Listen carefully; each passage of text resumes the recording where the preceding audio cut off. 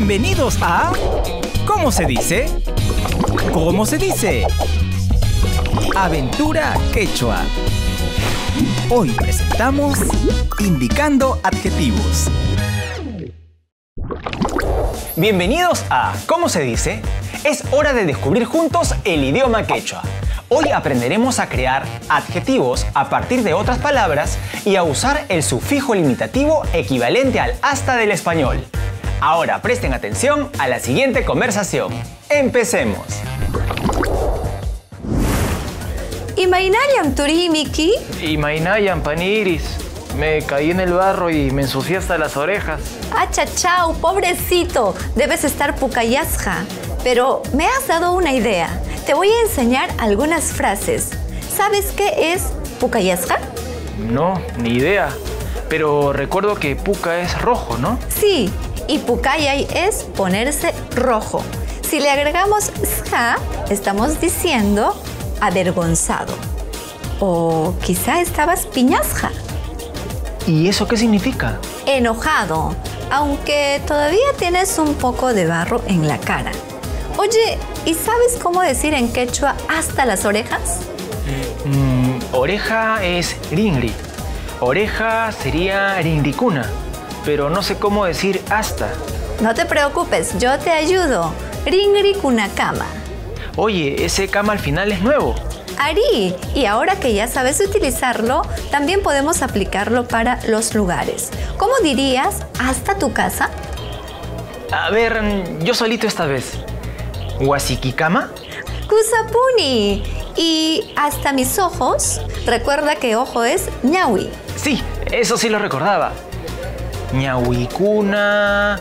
ñahuicunacama. ¡Qué rápido aprendes! Alin y. Es tiempo de analizar la conversación. En quechua podemos formar adjetivos a partir de nombres y verbos, agregando solo el sufijo ska al final de la palabra. Por ejemplo, a partir de kusi, alegría, podemos formar kusisja, alegre.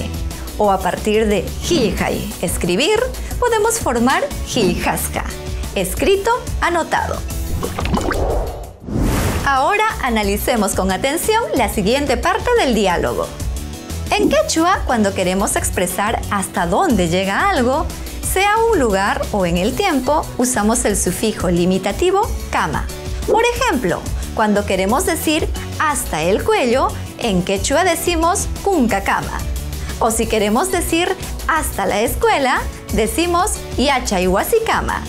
Incluso con palabras que refieren a tiempo, como pajarín, que significa mañana, podemos decir pajarín cama. Hasta mañana.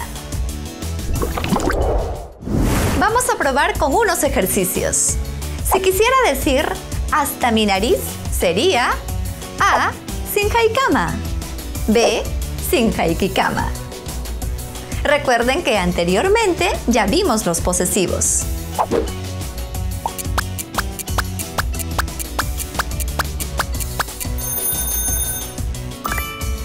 ¿Ya tienen su respuesta? Si eligieron la A, vamos muy bien. A partir de la palabra puñui, dormir, ¿cómo formarían la palabra dormido? A. Puñusja. B. Puño.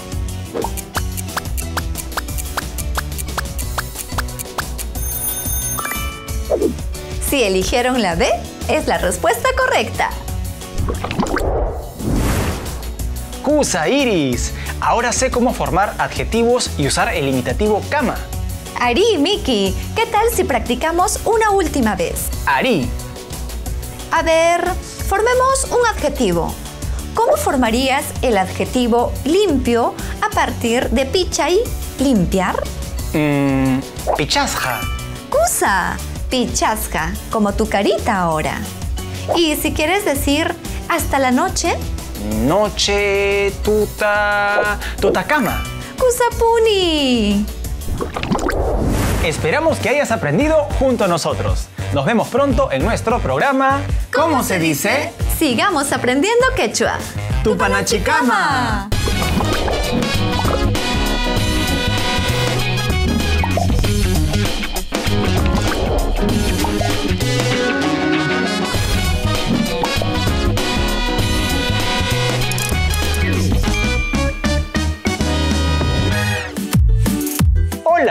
¡Qué gran lección! Estoy seguro que están viendo todos los episodios de ¿Cómo se dice? ¿Cómo que todavía no se han suscrito? Denle clic al botón de suscribirse y no olviden activar la campanita.